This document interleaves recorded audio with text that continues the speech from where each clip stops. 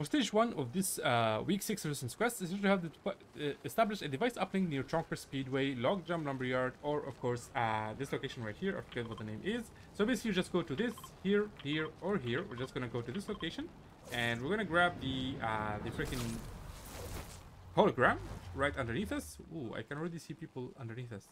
Are those IOs? Yeah, those are IOs. I think they're both gonna chill. Yeah, they are. I think we can kill them. Okay, so we'll, ju we'll just grab this first. Okay, there it is. Beautiful. And then I'm just gonna do this.